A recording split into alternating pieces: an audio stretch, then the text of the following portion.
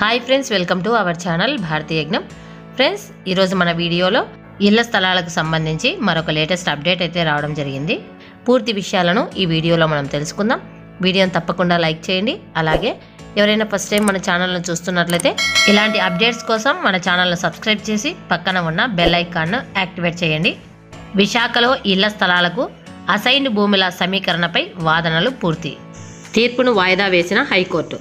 నవరత్నాలు పేదలందరికీ ఇల్లు పథకంలో భాగంగా అర్హులకు ఇళ్ళ స్థలాలు ఇచ్చేందుకు విశాఖ జిల్లాలో ప్రభుత్వ అసైన్డ్ భూములను భూ సమీకరణ ద్వారా సేకరించడాన్ని సవాలు చేస్తూ దాఖలైన ప్రజాహిత వాద్యంపై గురువారం హైకోర్టులో వాదనలు ముగిశాయి. హైకోర్టు ప్రధాన న్యాయమూర్తి justice Prashant Kumar Mishra justice M Satyanarayana మూర్తితో కూడిన ధర్మాసనం తీర్పును వాయిదా వేస్తున్నట్లు ప్రకటించింది. జిల్లాలో ఇళ్ళ స్థలాల పంపిణీ కోసం విశాఖపట్నం అనకాపల్లి డివిజన్లోని పది మండలాల్లో ఆరు వేల నూట పదహారు ఎకరాలను నిబంధనలకు విరుద్ధంగా సమీకరిస్తున్నారని ఆరోపిస్తూ భూసేకరణ ల్యాండ్ పూలింగ్ రైతు కూలీ నిర్వాసితుల సంక్షేమ సంఘం అధ్యక్షుడు జి. శ్రీరామ్ హైకోర్టులో పిల్వేశారు సమీకరిస్తున్న భూముల్లో ఎక్కువ శాతం అసైన్డ్ భూములు ఉన్నాయన్నారు. వాద్యంపై రెండు వేల ఇరవై మార్చి ఇరవై మూడున విచారణ జరిపిన ధర్మాసనం భూములను స్వాధీనం చేసుకోవద్దని మధ్యంతర ఉత్తర్వులు ఇచ్చింది దీనిపై గురువారం తుది విచారణ జరిగింది. పిటిషనర్ తరపున న్యాయవాది కెఎస్ మూర్తి వాదనలు వినిపిస్తూ భూసేకరణ చట్టం AP metropolitan region urban development authority చట్టం రెండు వేల పదహారు నిబంధనలకు విరుద్ధంగా భూమిని సమీకరిస్తున్నారు. అసైన్డ్ భూముల సమీకరణకు ముందు పత్రికా ప్రకటన ఇవ్వలేదు. ప్రజల నుంచి అభ్యంతరాలను స్వీకరించలేదు. ముఖ్యంగా ఆ భూములపై ఆధారపడి జీవించే వ్యవసాయ కూలీలకు ఎలాంటి ప్రయోజనాలు కల్పించడం లేదు.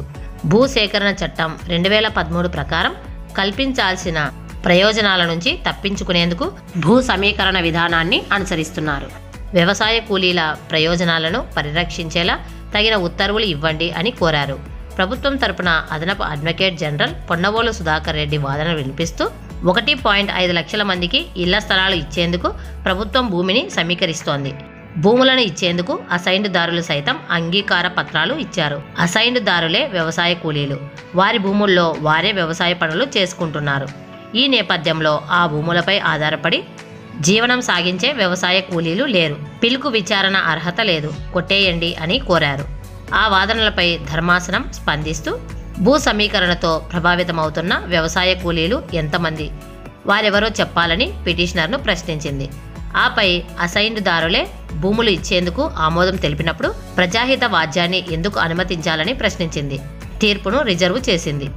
ఇది ఫ్రెండ్స్ విశాఖలో ఇళ్ళ స్థలాలకు అసైన్ భూముల సమీకరణకు సంబంధించిన లేటెస్ట్ అప్డేట్. వీడియోని తప్పకుండా లైక్ చేయండి అలాగే షేర్ చేయండి. ఎవరైనా ఫస్ట్ టైం మన ఛానల్ను చూస్తున్నట్లయితే ఇలాంటి మరిన్ని అప్డేట్స్ కోసం మన ఛానల్ను సబ్స్క్రైబ్ చేసి పక్కన ఉన్న బెల్ ఐకాన్ను యాక్టివేట్ చేయండి. Thanks for watching